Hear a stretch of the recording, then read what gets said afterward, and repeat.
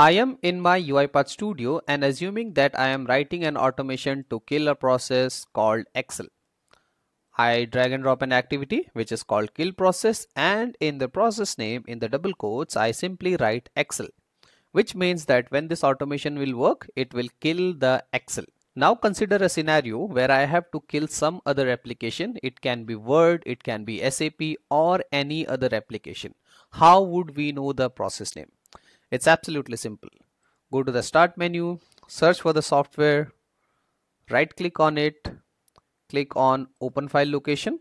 It should navigate to a shortcut of the software. Right click on it, go to the properties. In the target, scroll to the right and at the end you would see something which is called .exe.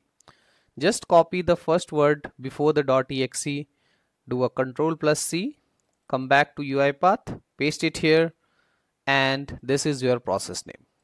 This same applies to the shortcuts which are available on the desktop.